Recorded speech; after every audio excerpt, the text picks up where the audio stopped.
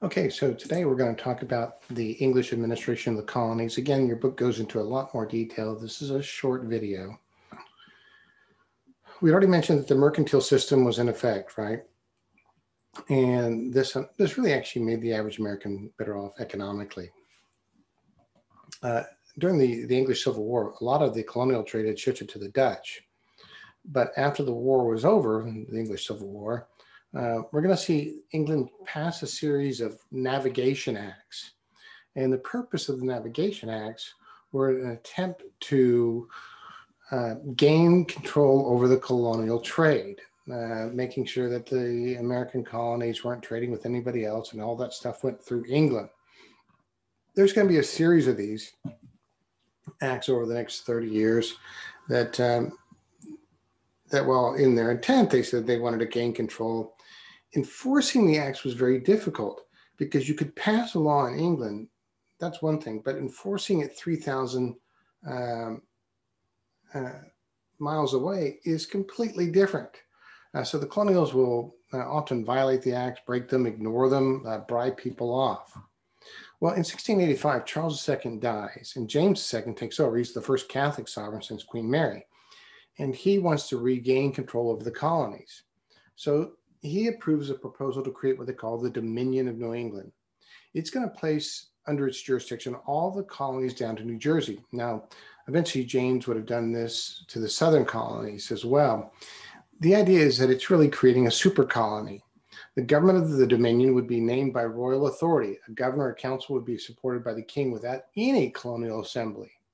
So that means they're getting rid of colonial assembly, something that they've been used to since 1619 and this is going to be a, a, a government appointed only by the king. And the first governor of the Dominion of New England is going to be a guy by the name of Sir Edmund Andros. Now, Andros, let's talk about him just briefly. Uh, he's a good soldier. Now, he's good at giving taking orders. He's honest. He's efficient. He's totally loyal, but he's totally tactless too. He has no sense of what he's going to do to offend people. And he's going to cause a lot of resentment in the colonies um, he's going to curb the power of town meetings and you can't meet because he's afraid they're going to be talking bad about him. Um, he challenged land titles, uh, which makes people very upset. They say, hey, I've had this title to this land for a long time. It's mine. Uh, it should not be taken away from me. He levies taxes without consent. He arrests and fines protesters. Um, he took over a Puritan church for Anglican worship. And, and this is where you get to the tactless point, right? You, you could have gone to the colonies and said, look, we need some taxes because we need to provide for the common defense.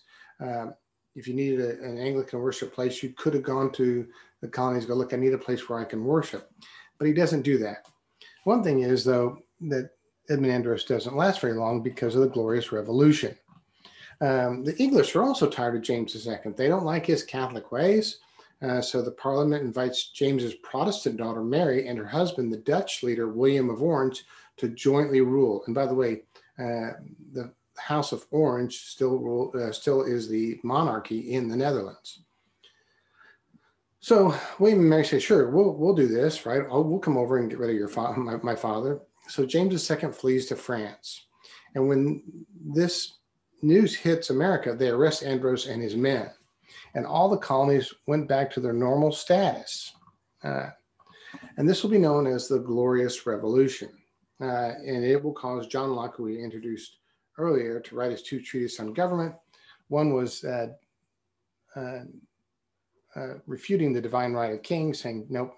And the other one was about government by consent and the idea of natural rights.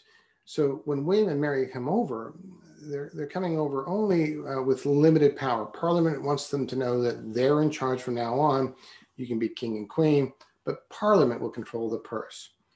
Uh, but John Locke's two treatises on, on government from the Glorious Revolution is going to have a huge impact uh, on the Americans in less than 100 years.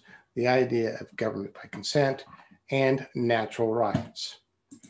Like I said, that's a short uh, little video. What we will do next time is we will cover the uh, the colonial wars and then we'll lead up to the American Revolution.